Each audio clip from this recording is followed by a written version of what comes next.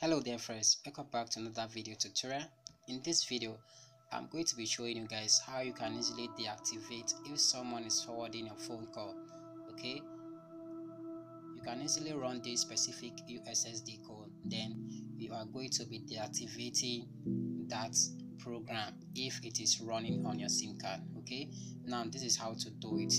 You just have to run this ussd code then you are done.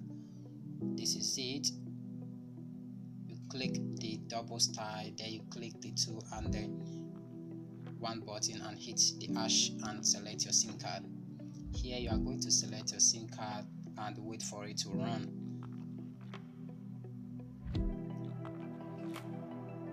Okay as you can see call forwarding is erased okay?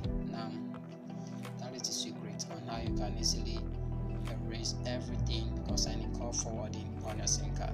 Thank you very much for watching this video. If you like this video, don't forget to hit the thumbs up, subscribe, and make sure you select the bell icon for my future updates.